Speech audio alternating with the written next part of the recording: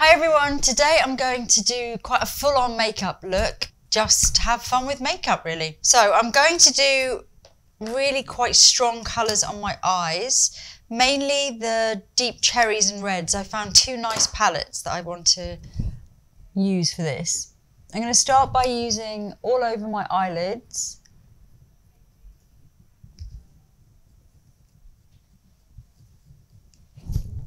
Um, sorry, I'm using the Pro, Prime. Forgot I was doing then. I'm going to use mainly this palette, which is a Marc Jacobs one. I just really like the colours. They're really shiny, deep cherries and plum colours. But I thought with me, and I don't know if this is a good tip in general, I think it is, to use something that's a bit more neutral on the eye first. Because if I use just all reds and all plums, I can start to get a slightly sore eye look, like that kind of rabbity eyes. So I'm going to use the brown, more golden brown shades from this palette. This also has sort of a bit of purple in as well, but it does have more of the neutral browns in. So I'm going to start with probably, let me see, yeah, this shade here. This is a Fenty palette. But any, what I mean is just any kind of like almost natural warm browny tone that it's just a good base. This just grounds all the red shades.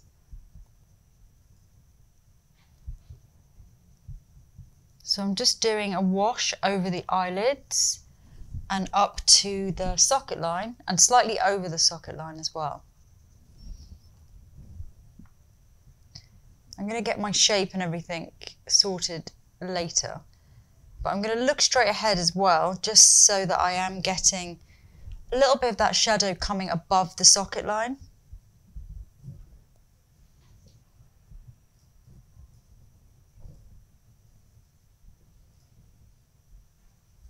I'm going to use this along the lower lash line as well. Again, it's just like a base coat of something that's not too vibrant.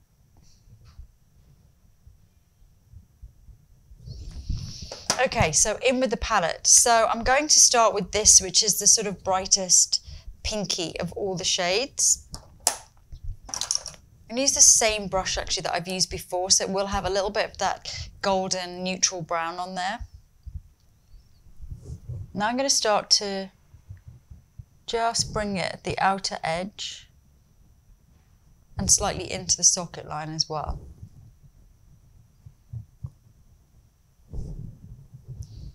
Use a clean brush just to blend that all in together.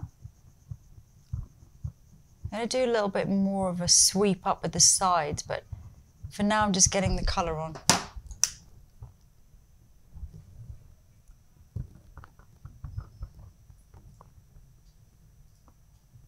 So next I'm going to use this deeper shade. This looks like quite a dark purpley red shade, maybe just at the outer edge there. A little bit more at the roots of the lashes. Just starting to get some smokiness there. I'm going to finish that shape as well when I put some liner on in a sec. So just a deep shade at the mainly the outer edge underneath. Now I'm going to go back in with my brush. This one had, it's had the brown on and it's had the plummy shade. It's quite a good way of working it because then you get, everything starts to blend in nicely. This is like a, a lilac-y shade, which looks really nice. I'm just going to try a little bit of that. It's got more of a sheen to it. So I'm going to maybe use this more on the actual lid for a little bit of light reflection there.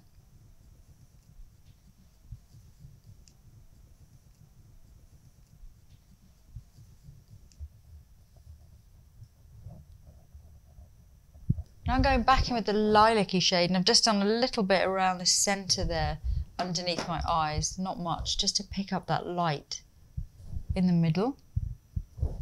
So before I move on, I'm going to do my liner.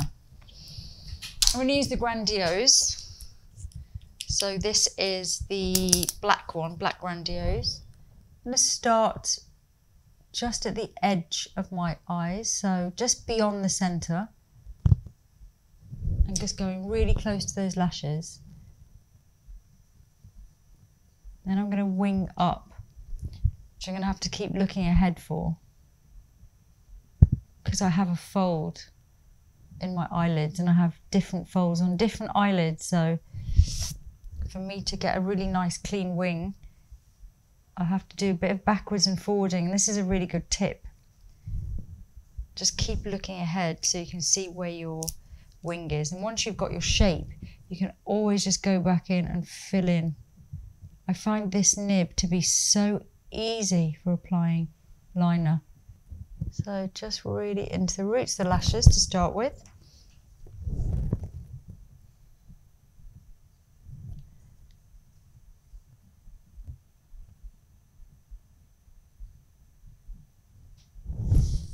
I think it's worth time just getting it in between the lashes. Gives you so much definition. And looking back at the other one, and this is the one that's tricky for me because I've got that fold. So you can see as I'm trying to bring it up, it goes straight into two folds on my eyelids.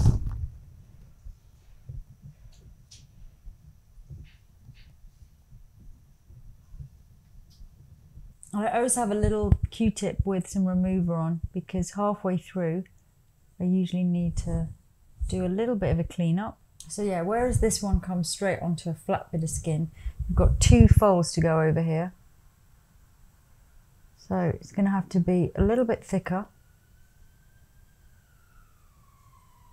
Then I'm going to go in with a gel liner with a very small brush and just fill in any little gaps or any changes that I want to make. So you can see when my eyes are closed, I have to go quite thick at the top here so that when they're relaxed, they look, it looks more even. And I want it to look quite dramatic, so I'm going to do the same with the other one. Now I'm using the darker shade from the palette again into the roots of the lashes at that outer corner. So I can kind of join up with the liner on the top. So I'm getting more definition around this side of the eye. I'm also going to use the same darker colour just into that crease there as well. So I start to build up a bit more intensity. And blending it in with the lilac. For some reason when I use this lilac shade under my eyes, it almost feels like it's stinging, but I don't understand why because I'm using all the other shadows and it's fine. But it feels like, not stinging, just makes my eyes feel a bit funny, strange. Never ever had that before. Okay, so onto eyelash curlers. So now I'm using some black mascara. This is Hypnose Extra Black. So right down to the roots of the lashes, putting as much of the mascara into the roots of the lashes this really helps to frame the liner. Makes makes the liner look better as well. You get that um, just pulls it all together. And then underneath the same thing, all the way along the lower lashes too. Putting as much bulk onto the roots again and then just combing that through. You can see it starts to bring the whole eye look together. So before I go on to foundation, I want to try this light shimmery shade. This is actually glitter. I might touch this up once I've done my um, concealer and everything, but it's quite good to do this now because then anything that drops down that I want to clean up, I've got time to clean it up. I Might also try the red glitter here. Let's just see where we can pop that. Maybe just towards the end of the shadow there before it fades into the liner. It's really bright kind of cherry colour.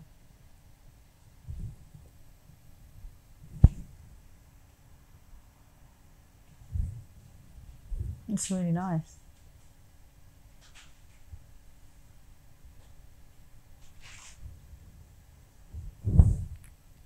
Okay, so now I'm going to clean up my skin and just get all of this everything that's dropped down. Use some remover.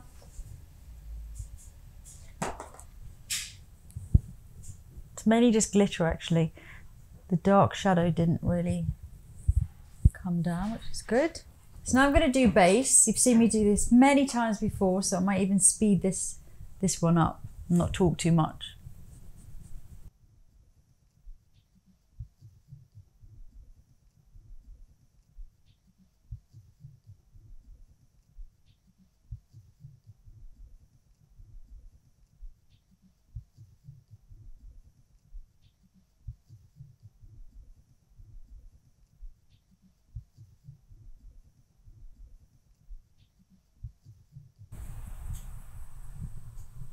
Before I finish my base, I'm going to use this highlighter stick by Hourglass. So I'm, I've still got some more concealing to do. I thought this one would be good because it's rose gold, so it's a little warmer, a little more pinky than I would often use for highlighter. But I think with this look and with all these colours, it will add um, definitely a certain richness.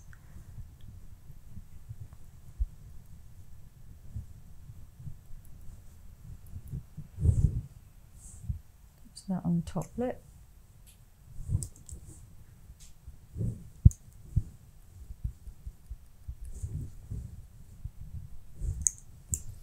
Now I'm going to do some pinpoint concealing. So I've put a light wash of base all over, but now I need to go in and just cover any marks.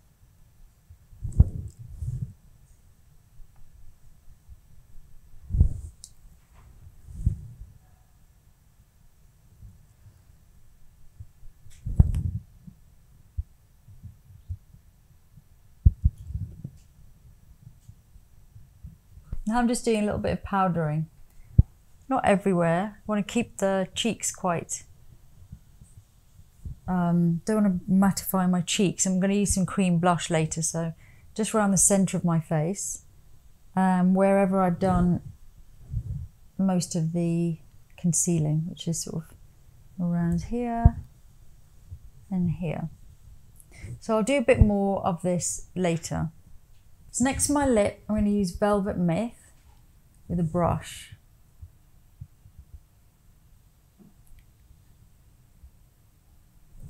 I'm going to start by just following the natural lip line. This is just adding another layer of berryness.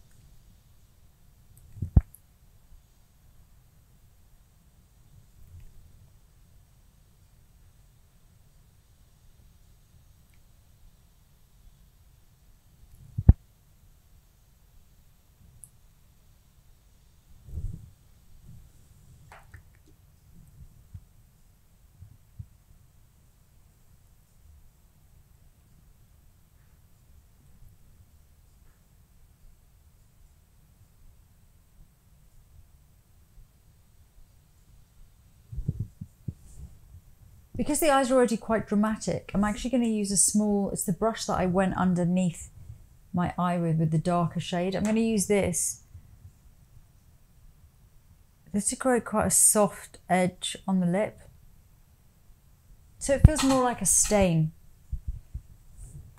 Since we've got a lot going on with the liner and the glitter and everything.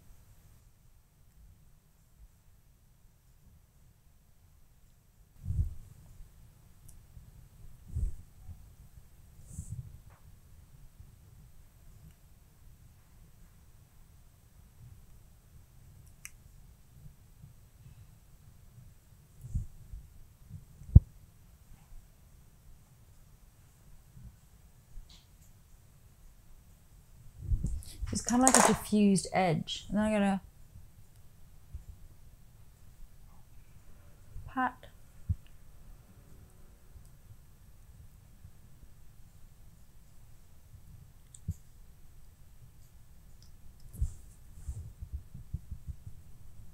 I'm also going to use that on cheeks. I'm just going to put a little bit on the back of my hand and I'm going to use the highlighter that I used which is the rose quartz one. So I'm just mixing those two together.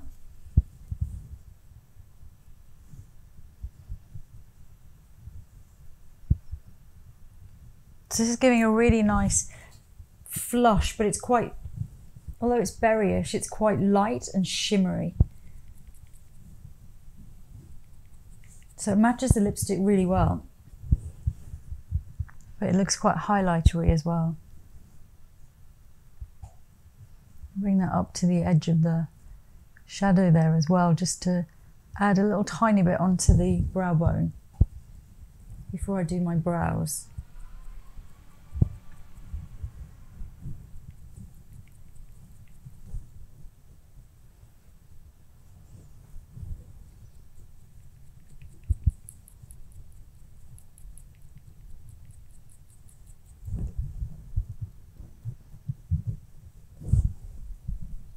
It all looks very lively, not too powdery, quite shimmery, healthy. Check my lip.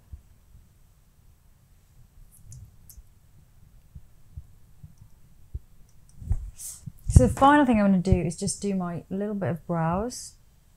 All I'm going to do is add a tiny bit of length there and fill in one gap here. Oh, this is broken. Oh, no, there it is. A couple of strokes. I don't really want the brows to be too heavy anyway. So it's not, they're not competing with the eye look.